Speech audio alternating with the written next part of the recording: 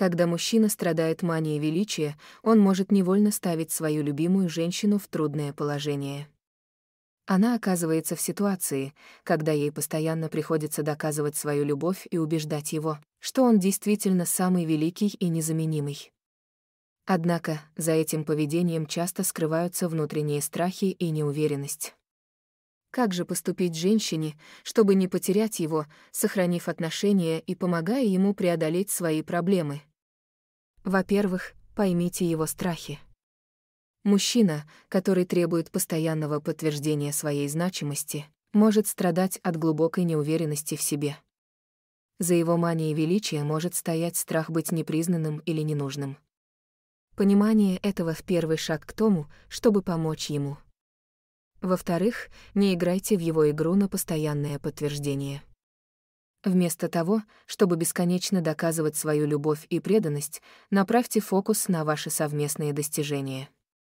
Напоминайте ему о том, что вы вместе добились, и что истинная сила заключается в умении работать вместе на благо ваших отношений. Совет номер один — будьте его поддержкой, но не жертвой. Покажите ему, что вы рядом не потому, что он самый великий, а потому, что вы любите его таким, какой он есть. Объясните, что ваша любовь не зависит от его успехов или неудач, и что вы цените его за то, кем он является.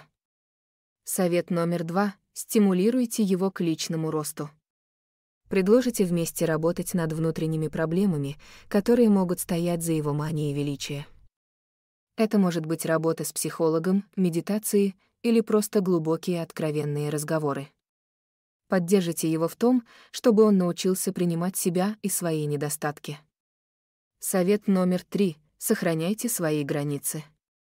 Важно, чтобы в отношениях были уважение и баланс. Не позволяйте его мании величия разрушать вашу самооценку. Будьте уверены в себе и не теряйте себя, поддерживая его.